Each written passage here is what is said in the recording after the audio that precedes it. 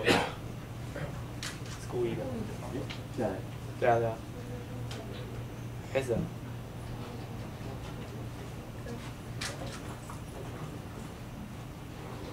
太大了是不是？哦，我原来这样，找到黄是吧？哦，原来是桌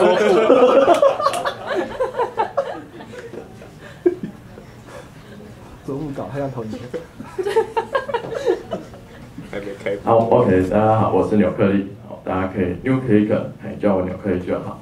好，这次立法院向日葵数位田野宛如照妖镜，照出媒体鲜明的立场。比如说这位老兄的新闻龙卷风，好，还有所谓现场聚集三十五人的新闻。最经典的是，原来台湾国还真的是有临时政府啊，而且叫我们先不要管这个临是哪个零。好，如果你也想做点什么的话呢，发出你的声音，现在就跳坑吧。媒体该不该有特定立场？哦，这个是一个 big question。无论你的答案为何，但现状是媒体的发声都有自己的立场，而自己的立场却没有媒体发声。那 G 零 V 是拆政府原地重建，难道我们这个 G 八 V 专案是要拆媒体吗？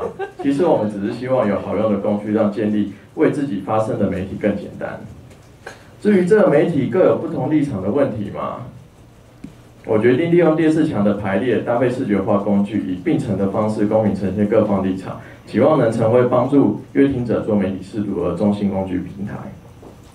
好，详解有问题分三大类。第一个，我先讲给直播、文播、公民记者一个方便内容协作、社群分享的工具。好，起点是利用电视墙抓住坏掉的直播镜头，很方便。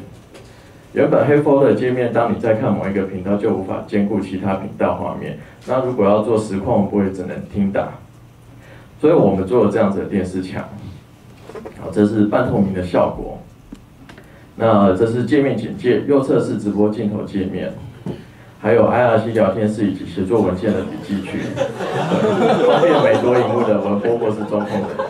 好，这个是旧版的。好，接下来我要放一下新版。我拿就是发展中的新版电视墙，以香港立法会事件做 demo。每个元素都可以移动、改变大小、透明度。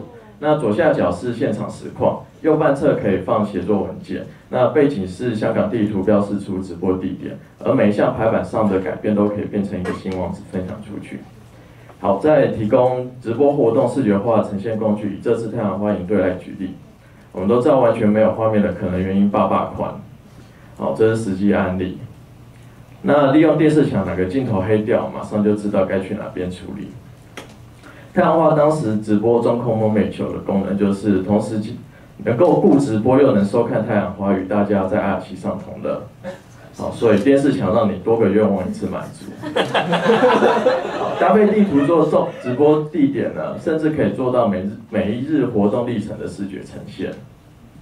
好，再来我们希望能够透过电视墙协助阅听者媒体试读。好，传统上对电视墙印象是这样：透过公民记者的实况与新闻的对照画面，秀出对照组，可以戳破新闻嘲弄。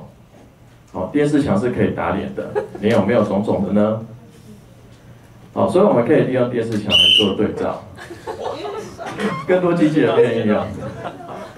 OK，那比如说某场 live 公听会，你就有电视只要有人贴上该场决议链接，其他一点就能播放当时录影存档，然后相对照去做验证。好，那可以透过网址来分享。